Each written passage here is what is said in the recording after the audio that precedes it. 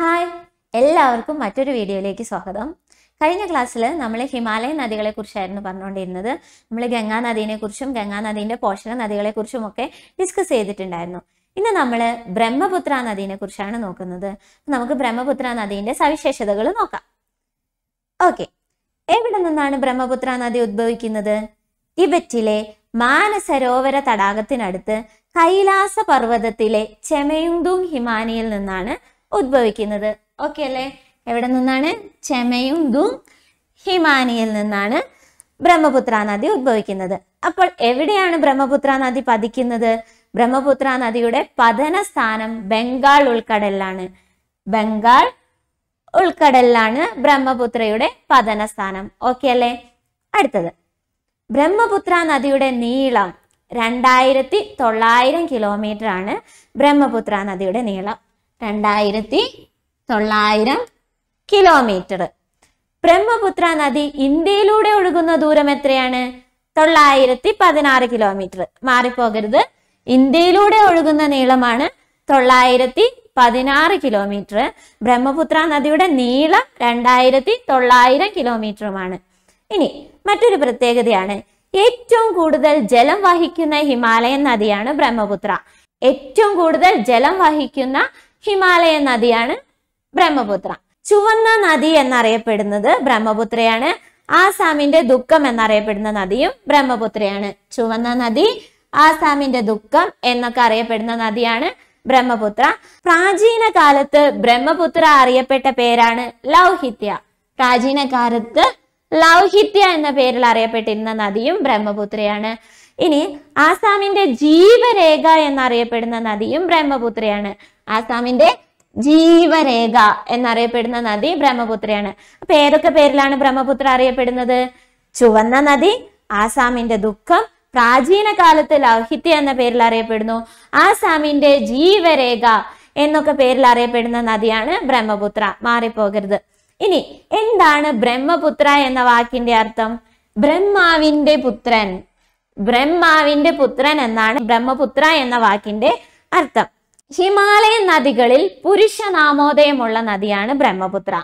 പുരുഷ നാമേദയമുള്ള നദിയാണ് ബ്രഹ്മപുത്ര. ഓക്കെ ആണോ? ഗംഗ സിന്ധു എന്നതൊക്കെ ഒരു സ്ത്രീ നാമോദയമാണ്. ഇപ്പൊ പുരുഷ നാമേദയമുള്ള നദിയാണ് ബ്രഹ്മപുത്ര. ഓക്കെ അല്ലേ? അടുത്തത്. ബ്രഹ്മപുത്ര നദി ഒഴുകുന്ന രാജ്യങ്ങൾ ഏതൊക്കെയാണ്? China India Bhutan Bangladesh. China. ചൈനയിലെ ഏതിലാ? ടിബറ്റിൽ. ഇന്ത്യ ഭൂട്ടാൻ ബംഗ്ലാദേശ് തുടങ്ങിയ രാജ്യങ്ങളിലൂടെയാണ് ബ്രഹ്മപുത്ര നദി ഒഴുകുന്നത്. മലിനീകരണം ഏറ്റവും കുറഞ്ഞ ഹിമാലയൻ നദിയാണ് ബ്രഹ്മപുത്ര. മലിനീകരണം ഏറ്റവും കുറഞ്ഞ ഹിമാലയൻ നദി ഏതാന്ന് പി എസ് ചോദിക്കാം. എന്താണ് ഉത്തരം? ബ്രഹ്മപുത്രയാണ് അതിന്റെ ഉത്തരം. ഇനി മജുലി ദ്വീപ് സ്ഥിതി ചെയ്യുന്ന നദി ഏതാണ്? ബ്രഹ്മപുത്ര. മജുലി ദ്വീപ് സ്ഥിതി ചെയ്യുന്ന നദിയും ബ്രഹ്മപുത്രയാണ്. ഓക്കെ മജുലി ദ്വീപ് സ്ഥിതി ചെയ്യുന്നത് ബ്രഹ്മപുത്രയിലാണ്. അപ്പൊ എന്താണ് മജുലി ദ്വീപിന്റെ പ്രത്യേകത? ഏഷ്യയിലെ ഏറ്റവും വലിയ നദീജന്യ ദ്വീപാണ് മജുലി ദ്വീപ് അത് എവിടെയാണ് സ്ഥിതി ചെയ്യുന്നത്? ആസാമിലാണ് സ്ഥിതി ചെയ്യുന്നത്. ഏഷ്യയിലെ ഏറ്റവും വലിയ നദീജന്യ ദ്വീപ് ഏതാണ്? മജുലി ദ്വീപ് അതുപോലെ തന്നെ മറ്റൊരു പ്രത്യേകതയാണ് ഹിമാലയത്തിന് സമാന്തരമായി കിഴക്കോട്ടൊഴുകുന്ന ബ്രഹ്മപുത്ര നദി നംജപർവ എന്ന പ്രദേശത്ത് വെച്ച് യു ടേൺ തിരിഞ്ഞ് അരുണാചൽ പ്രദേശിലേക്ക് കിടക്കുന്നു. ഏത് പ്രദേശത്താണ്? നംജബർവ എന്ന പ്രദേശത്ത് വെച്ച് യു ടേൺ തിരിഞ്ഞ് അരുണാചൽ പ്രദേശിലേക്ക് കടക്കുന്നു. മധ്യ ഹിമാലയത്തിലെ നംജബർവ പർവതത്തെ മുറിച്ചുകൊണ്ട് ആഴമേറിയ ഗിരികന്ധര താഴ്വരയിലൂടെ ഒഴുകുന്ന നദിയും കൂടിയാണ് ബ്രഹ്മപുത്ര. ഇപ്പൊ പോയിന്റ്സുകൾ മാറിപ്പോവരുത്. ബ്രഹ്മപുത്ര നദീ തീരത്തെ പ്രധാന പട്ടണങ്ങൾ ഏതൊക്കെയാ നോക്കാം? ഏതൊക്കെയാണ്? ദിബ്രുഗണ്ടും ഗുവാഹട്ടിയും. ഈ രണ്ട് പട്ടണങ്ങളാണ് ബ്രഹ്മപുത്ര നദീ തീരത്തെ പ്രധാന പട്ടണങ്ങൾ അടുത്തത് ബ്രഹ്മപുത്ര നദി പലയിടങ്ങളിൽ പല പേരിലാണ് അറിയപ്പെടുന്നത്. അത് ഏതൊക്കെയാണെന്ന് നോക്കാം. അപ്പോ സാങ്പോ എന്ന പേരിൽ എവിടെയാണ്? ടിബറ്റിൽ അറിയപ്പെടുന്നു. സാങ്പോ ടിബറ്റിൽ അറിയപ്പെടുന്ന പേരാണ്. ബ്രഹ്മപുത്ര ദിഹാങ് എന്ന പേരിൽ അരുണാചൽ പ്രദേശിൽ അറിയപ്പെടുന്നു. ദിഹാങ് എന്ന പേരിൽ അരുണാചൽ പ്രദേശിൽ അറിയപ്പെടുന്ന നദിയാണ് ബ്രഹ്മപുത്ര.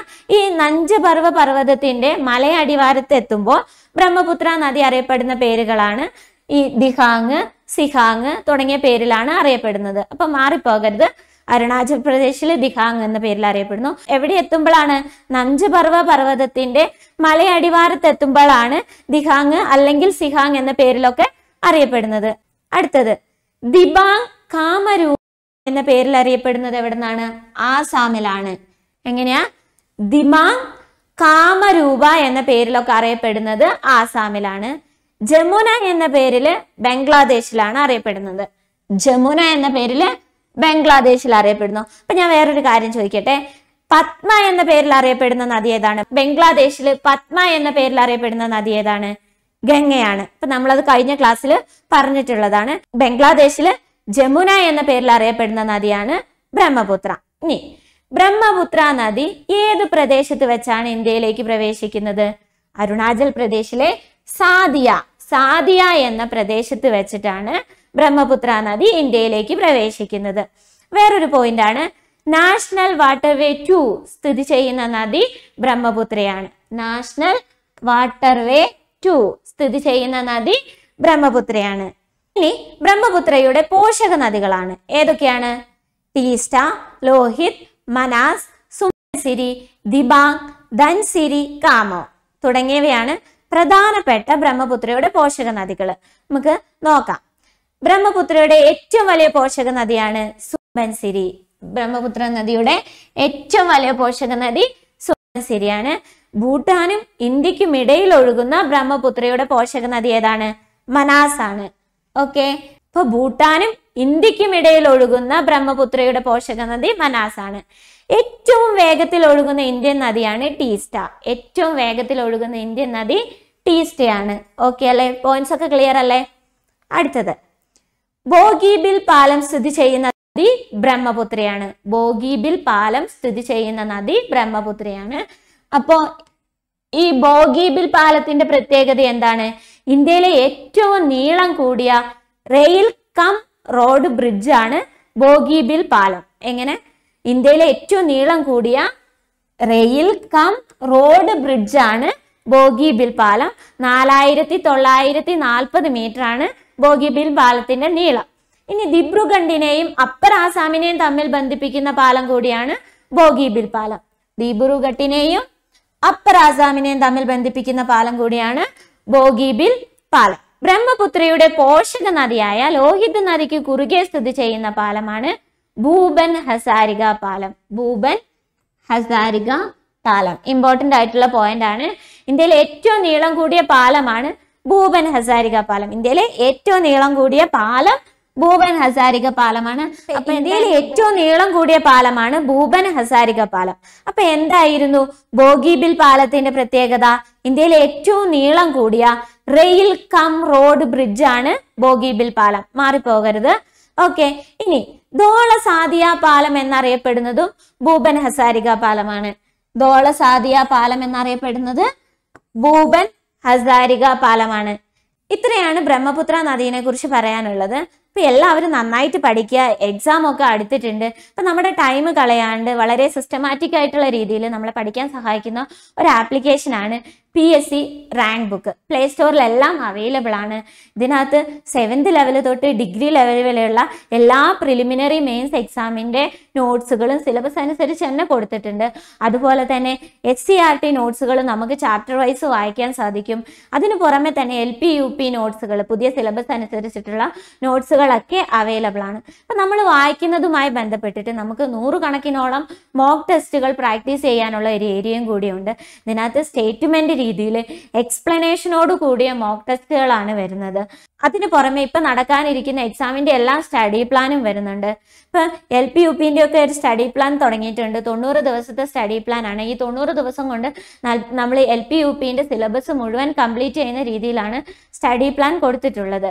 ഓക്കെ അപ്പൊ നമ്മൾ ഇത് ഇൻസ്റ്റാൾ ചെയ്ത് കഴിഞ്ഞിട്ടുണ്ടെങ്കിൽ രണ്ട് ദിവസം നമുക്ക് ഫ്രീ ട്രയൽ ഉണ്ടാകും. രണ്ട് ദിവസം കഴിഞ്ഞു കഴിയുമ്പോൾ നമുക്കൊരു പ്രീമിയം വരുന്നുണ്ട്.